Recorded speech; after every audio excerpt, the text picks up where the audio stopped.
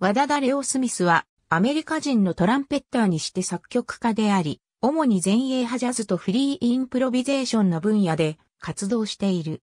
2012年5月22日にリリースされたアルバムテンフリーダムサマーズによって2013年のピューリッツァー賞音楽部門におけるファイナリスト3人のうちの一人となった。スミスはミシシッピー州リーランドで生まれた。自分の楽器がトランペットに落ち着く前にはドラム、メロフォン、そしてフレンチホルンの演奏を行っていた。様々なリズムブルースのグループで演奏した後、1967年までにオクムのメンバーとなり、リロイ・ジェンキンス、アンソニー・ブラクストンとのトリオであるクリエイティブ・コンストラクション・カンパニーを共同で結成した。1971年、スミスは自身のレーベル、カベルを設立。また、ヘンリー・スレッギル、アンソニー・デイビス、オリバー・レイクなどのメンバーと一緒に別のバンド、ニューダルト・アホクリーを結成した。1970年代にスミスはウェズリアン大学で民族音楽学を学んだ。その頃、再びアンソニー・ブラクストンと共演し、同時にデレク・ベイリーのカンパニーとも共演した。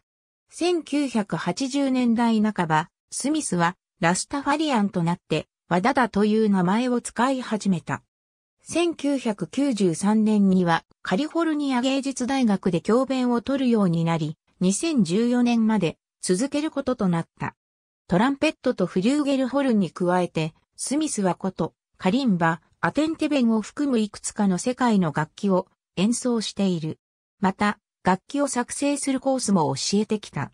彼の作曲には、しばしば1970年に開発したアンクラメーションと呼ばれるスケーフのシステムが使われている。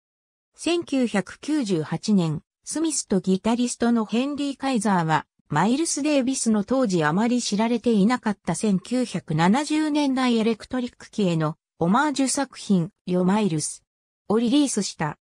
このアルバムでは、スミス、カイザーに加え、大勢のミュージシャンが、マイルスのエレクトリックミュージックにインスパイアされたカバーバージョンやオリジナル作品をレコーディングした。続編のスカイガーデンとアプリバーはまた違うミュージシャンによってレコーディングされた。どちらののラインナップでもマイケル・マンリングのベースがフィーチャーされた。スミスが率いるグループ、ゴールデンカルテットは、もともとドラムのジャック・ディジョネット、キーボードのアンソニー・デイビス、そしてベースのマラカイ・フェイバースをフィーチャーしていた。何度かのメンバーチェンジを経て、ゴールデンカルテットは新たに、ドラムのフェローン・アクラフ、ベースのジョン・リンドーバーグ、ピアノのデイビスをフィーチャーするようになった。2000年代には、スミスは、ジョン・ゾーンのレーベルであるツァディク、及びパイレコーディングスでアルバムをレコーディングした。2008年に、彼とゴールデンカルテットは、 Freedom Now というタイトルの DVD を発売した。ムハル・リチャード・エイブラムス、マリオン・ブラウン、アンソニー・ブラクストン、クリエイティブ・コンストラクション・カンパニー、アンドリュー・シリル、ヘンリー・カイザー、フランク・ロー、マシュー・シップ、スプリング・ヒール・ジャック、ジョン・ゾーン。ありがとうございます。